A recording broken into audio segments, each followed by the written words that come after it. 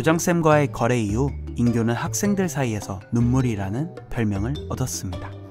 인교 앞에만 서면 마음이 편해지면서 눈물이 나온다고 해서 붙여진 별명이죠. 그런 인교에게 무슨 고민이 생겼나 봅니다. 이거 비밀 보장 되는 거 맞죠? 아, 예, 그럼요. 상담에서 비밀 보장은 기본이죠. 아, 하지만 의뢰인이 위험할 것 같을 땐 저도 보호자에게 알릴 수밖에 없는 점 꼭 알아두세요. 역시 멋있어.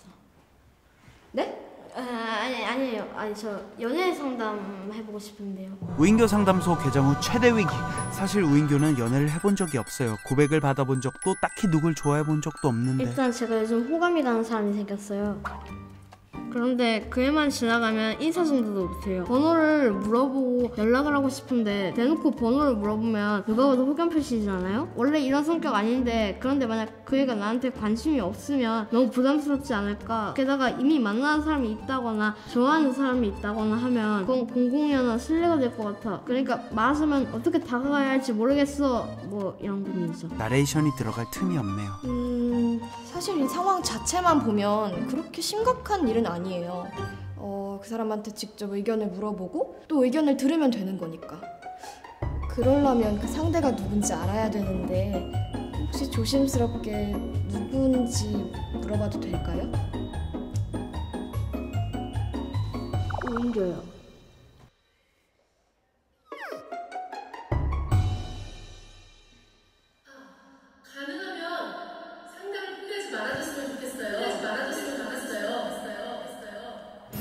어, 제가 알기로 그 친구가 지금은 만나는 사람이 없는 걸로 알거든요.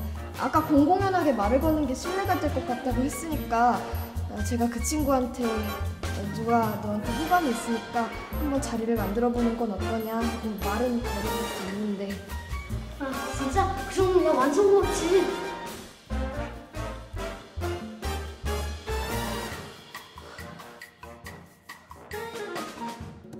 무례하지 않게 물어보는 방법을 제시하다니.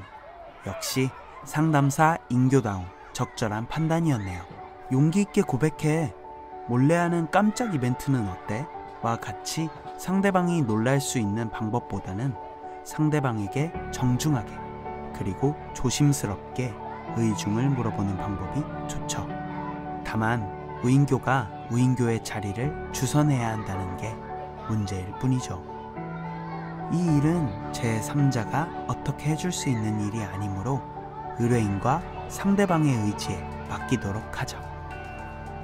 연애를 하는 특별한 방법이 있는 건 아니에요. 상대방에게 호감이 있는 만큼 정중하고 존중하는 태도로 대화를 해나가면 되는 거죠. 그동안 우인교의 상담을 지켜보니까 사실 우인교가 문제를 짜잔 하고 해결하는 일은 없었어요. 결국 자신의 일은 자신이 해야 하고 어느 방향으로 갈지 헷갈릴 때 참고가 될 만한 조언을 얻거나 속에 담긴 말을 해서 홀가분해지는 것만으로도 친구들에겐 큰 도움이 된 것 같아요. 역시 자신의 삶의 힘이 자라나야 하는 게 맞는 것 같네요. 인천의 청소년들도 고민 없는 하루하루가 되었으면 좋겠습니다. 우리 모두 앞으로도 파이팅!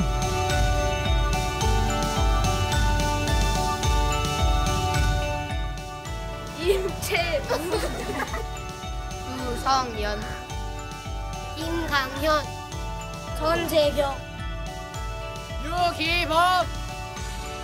박지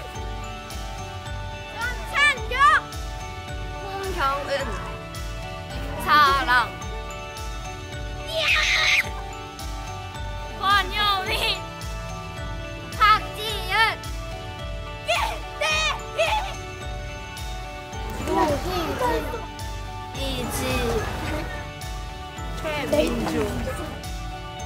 안녕하세요. 네.